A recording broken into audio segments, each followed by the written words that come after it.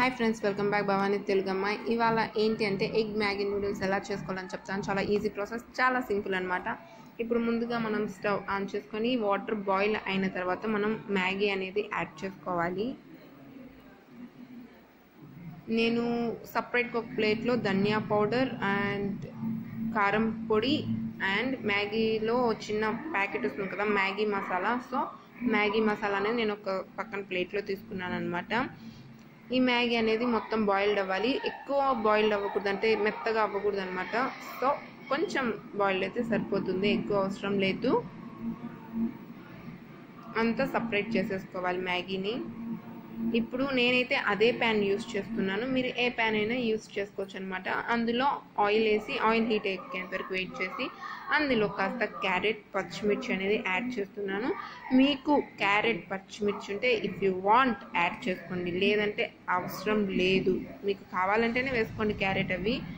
నాకు తెలిసి ఇవి లేకున్నా కూడా బాగుంటుంది. బట్ ఇవి వేస్తే ఏంటంటే తినేటప్పుడు పంటికి తగ్గుతూ సూపర్ ఉంటుందన్నమాట.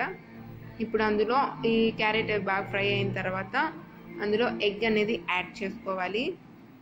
నేనైతే ఫోర్ ఎగ్స్ తీసుకున్నాను. మీరు ఎన్నైనా ఎగ్స్ వేసుకోవచ్చు. ఎగ్స్కి ఏం లేదు లిమిట్ వన్ టూ అని ఏం లేదు. ఎన్నైనా వేసుకోవచ్చు అనమాట ఇప్పుడు అందులో నేను ముందుగా చెప్పాను కదా ధనియా పౌడర్ కారం పొడి మ్యాగీ మసాలా అండ్ సాల్ట్ వేసి మొత్తం ఒకసారి మిక్స్ చేసేసుకోవాలి. ఎందుకంటే ఆ పచ్చి వాసన పొయ్యేంత పోవాలి కాబట్టి.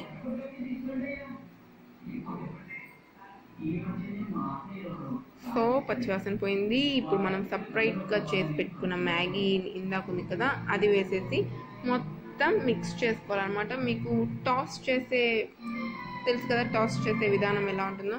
అలా వస్తే మాత్రం అలా చేసుకుంటే సరిపోతుంది. అంటే మొత్తం బాగా మిక్స్ అయిపోతుంది మ్యాగీకి.